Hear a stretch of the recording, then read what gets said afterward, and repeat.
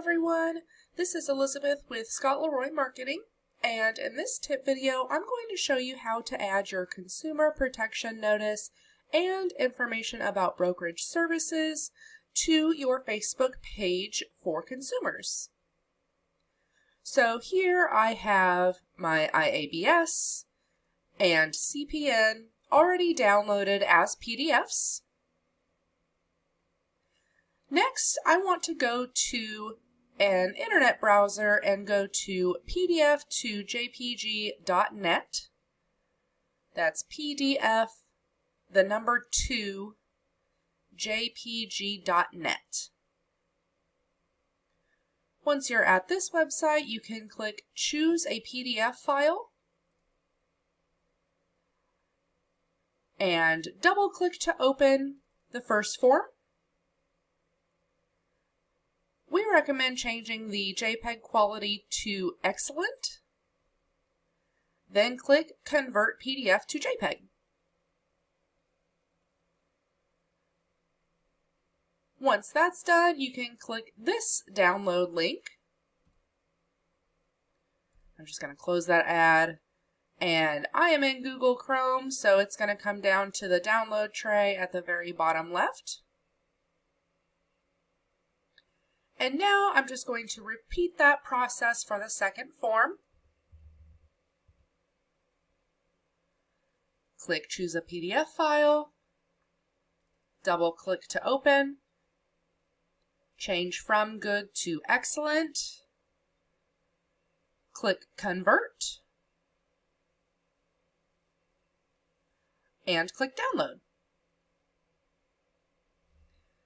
So now that we have those two forms converted to a JPEG, I can close this tab and go to my Facebook page. You go to your Facebook page by logging into Facebook, and you can click your page on the right hand side or in the shortcuts on the left. And on my Facebook page, I'm just going to click Photo, Video, in the Create a Post section. Next, I'm going to add the photos by clicking in the center of the pop-up and selecting the two photos that I most recently downloaded and click Open. And if there's any verbiage that is required, such as Texas law requires all license holders to provide the following, you would enter that here. Then post. So after this is posted, stay on your page and locate that post.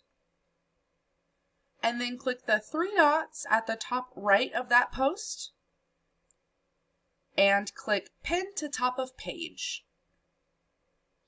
This is so that no matter how anyone is viewing your page or when they are viewing, they'll see that post at the very top.